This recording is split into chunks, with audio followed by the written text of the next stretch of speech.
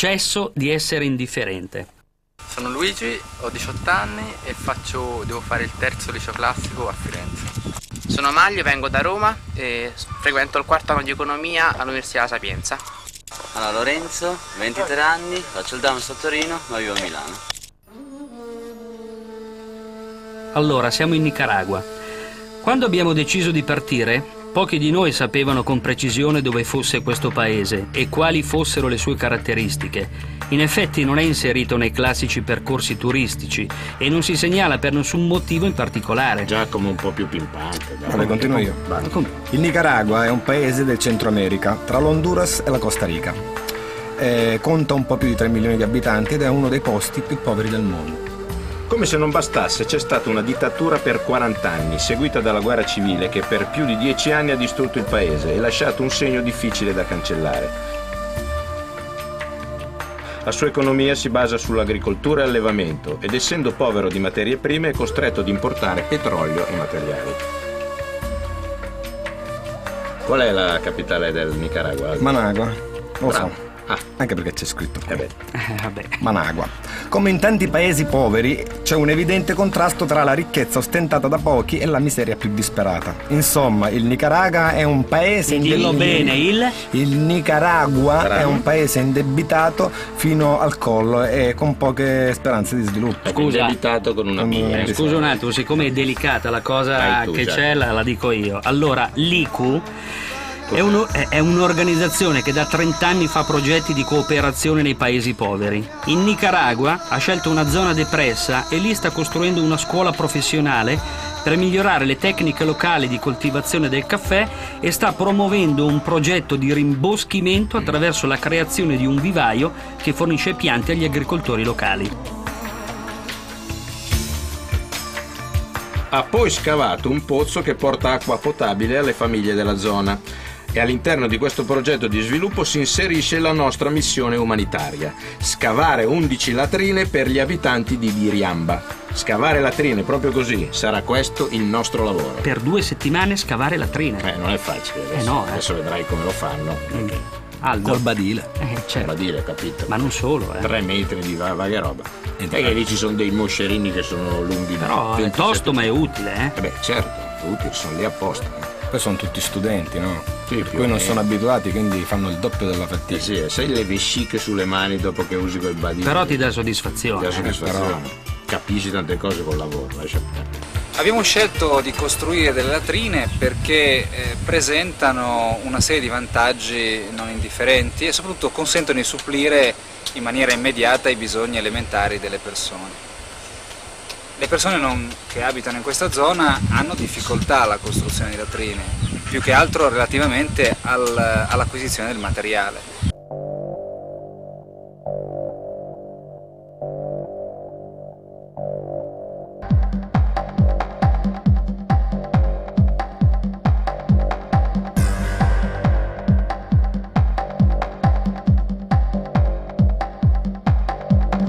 Aquí se hace eh, se necesita, por ejemplo, las letrinas en primera instancia, ¿ya? Eh, la legalización de estos lotes, el agua potable y en alimentación, pues, porque lo mismo que hay personas que son de bajos recursos y no tienen empleo. Yo, mi esposa, yo, dos hijos pequeños, aquí duerme el mayor.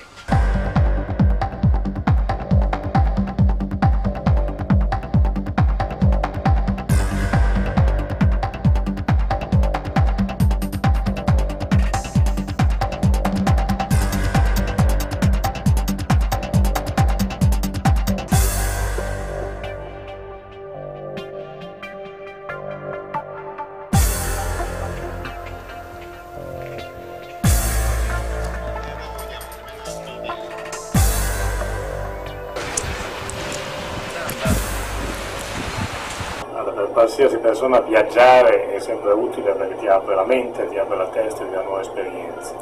Eh, per un giovane europeo andare in un paese come il Nicaragua è ancora più utile perché vede, vede un mondo completamente nuovo, una maniera di vivere completamente diversa, eh, vede delle necessità e delle difficoltà nella vita di tutti i giorni che sono completamente diverse di quelle che abbiamo noi in Italia per esempio. La giornata, per sei giorni la settimana, è scandita da orari precisi. Sveglia alle 7 del mattino. Che tu non hai mai fatto, solo quando andavi con le gite in Eh, montagna sì, all'oratorio. Esatto, esatto. Per chi vuole c'è la messa nel villaggio e dopo una colazione a base di riso e fagioli, via a lavorare. Riso e fagioli, Eh eh? sì, eh. non latte. Vabbè, insomma, prima però si va al mercato e si fa il pieno di ananas e banane, che per molti diventano una colazione alt- alternativa. Eh? Perché per la camminata, no? Ci vogliono molte energie. Eh. certo, I fagioli ti danno quell'energia lì. Sì, ad reazione, diciamo. Propulsiva. Propulsiva. E ti aiutano a camminare. Esatto.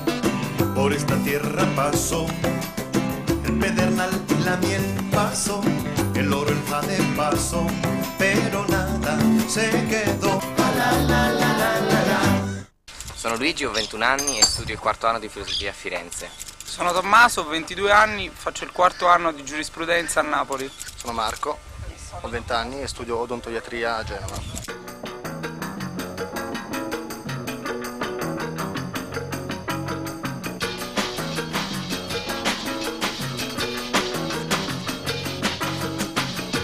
Ogni giorno, dopo 10 km di una striscia di asfalto che pare più un groviera che una strada, scarrichiamo l'acqua. e- Scarrichiamo? Scarrichiamo. Con una R sola. Oh, comunque l'acqua e la frutta dai polmini che ce li carichiamo sulle spalle e iniziamo a percorrere lo sterrato che dopo un'ora di cammino ci farà arrivare al posto dove lavoriamo con le papole sotto i piedi. Beh, ci credo, un'ora di cammino su quella strada lì. Ma che roba.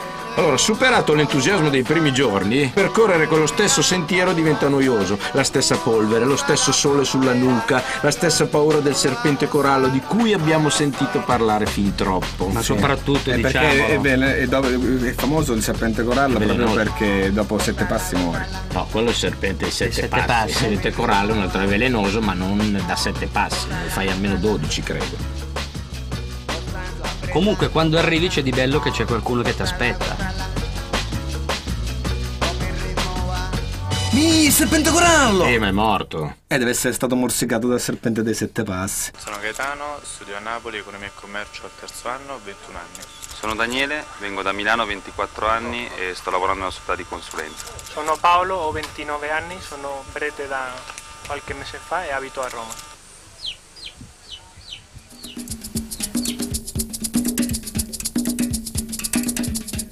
Ecco, il primo giorno ci si deve ambientare, si fa la prima conoscenza con la gente del posto e lì eh, apprendiamo che l'acqua corrente non c'è e che un uomo della famiglia va due volte al giorno a prenderla giù al fiume, nel migliore dei casi a cavallo.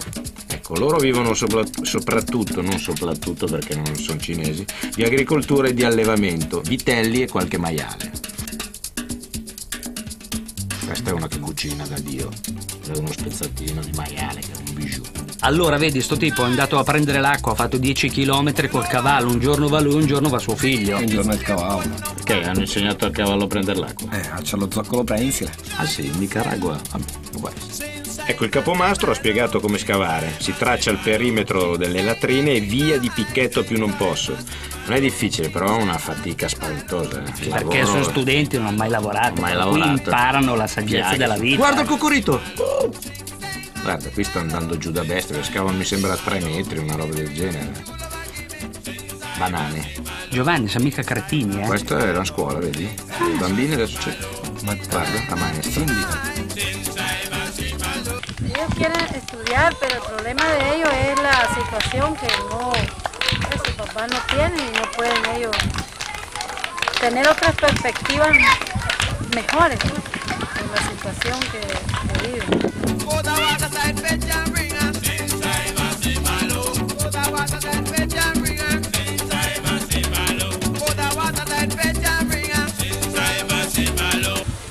Deciso di venire qua per, per dare un, po' un cambiamento alla mia vita. Eh, Dal momento che dopo che si è venuti qua non si può tornare a casa nello stesso modo in cui si è partiti, insomma. E quando si smette di, di scavare perché si, fa- si prende un po' di riposo, qualcuno magari si mette a insegnare. Ecco, quanto fa 15 per 7? Io ho fatto fino alla tabellina del 12. Forse anche te un viaggetto così non ti farebbe male. Comunque, oh, scavano di brutto, ecco. Eh sì, eh. Questa è l'aia, diciamo, il dentro della casa, ma qui già familiarizza con i bambini, vedi una trottola. Quella è una trottola, Eh ce sì. l'avevo anch'io da bambino. Rudimentale, ma una trottola, è vero. Non si gioca più con la trottola. Ecco, questo è il medico, sembra un turista, in realtà sta andando a visitare, a verificare lo stato di salute di quel posto.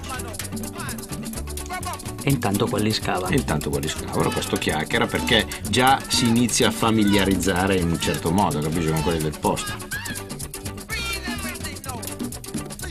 Ma quello là è una sete della miseria. E beh, non ha mai lavorato in vita l'altro, sua. poi si penso a vede. doversi portare l'acqua da casa e non dirci "Oh, apri un rubinetto e scende, lì non Certo. scende. Se E lì, finisce e lì sete. bevi solo quando hai sete. Eh, lì eh. bevi quando hai sete, però ti viene più sete. Perché dici, eh, non c'è. L'ananas lì è buonissimo l'ananas.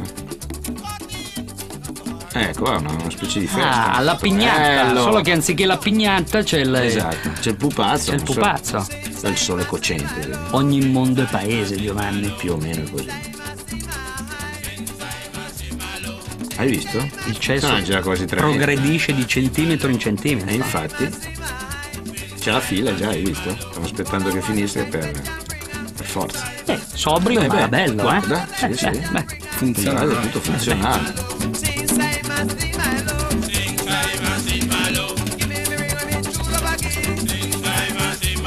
I ragazzi sono tutti universitari che provengono da diverse città italiane e sono estremamente contenti, vengono volentieri a lavorare a questo tipo di realtà, anche se ci sono condizioni che sicuramente sono molto diverse rispetto a quelle del mondo occidentale.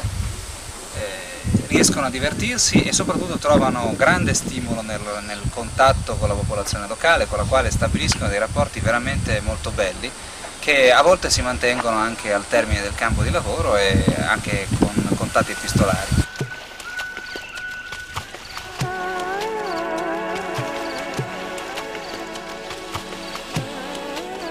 Oh, nei fine settimana si approfitta per vedere le bellezze della natura di questo paese, un po' di sano riposo.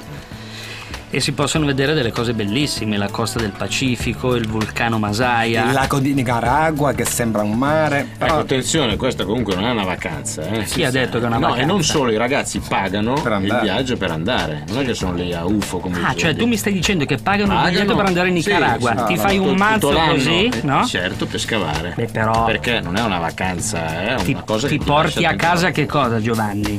Dei sassi del vulcano. No, no, un grande senso interiore, lascia Beh, certo, perdere. questo sì. Basta vederlo. E questo è il mar in spagnolo, è il mar. Eh, Invece è il lago Ah, è di il lago, è il lago del È il Nicaragua, lago. che sembra un mar. Capacchion. un mago. Esto Ma fanno cosa- anche il bagno. Cosa è È esto? l'estuario. Estuario di che? Non lo so, del fiume, del lago. Sono Gianmaria, 18 anni, liceo scientifico Cannizzaro Roma. Sono Pierluigi Modesti, ho 25 anni e faccio il tecnologo all'Istat. Sono Davide, vengo da Trieste, è il secondo anno che sono qui in Nicaragua e un altro anno penso di fare ingegneria civile.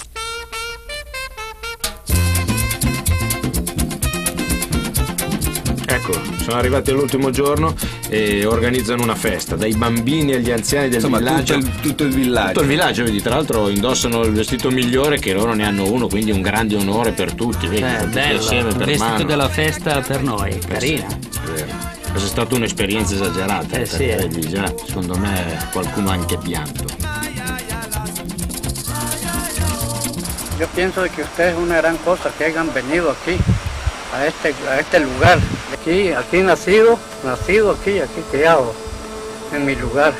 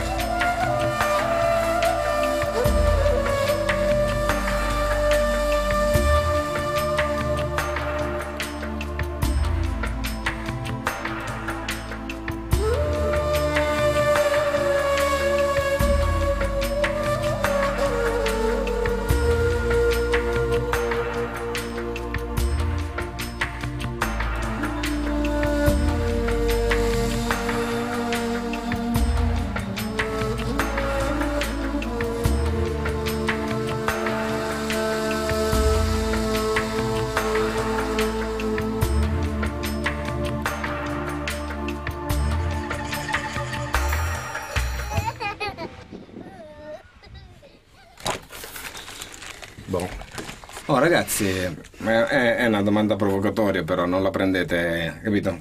Una domanda giusta per parlare tra di noi. Va bene. Scusa, non ho capito. È una do- volevo fare una domanda provocatoria. Provocatoria. Se così tanto perché Non ho- non ho capito, non ho capito. Ma se ti togli le cuffie magari capisci. Ah, scusa. E basta, non dico più niente. No, Dai, dai, già, dillo, adesso eh. dillo, Aldo. Eh, scusa, mi, mi, mi, mi- mi- mi indisponi. Questi volontari, volevo dire, no? Mm. Questi volontari che pensano di cambiare il mondo, cioè io non... tanto di cappelle volontari, è provocatorio comunque, no? Mm.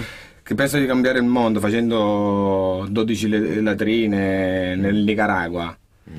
Mm, Non è un po'... Che, un po' mm, non so, è provocatorio, non so neanche... Secondo me loro non pensano di cambiare il mondo, loro sicuramente questa esperienza cambia loro stessi, Mm. per cui un pochettino cambiano anche il mondo, capisci? Cioè Un l'assioma.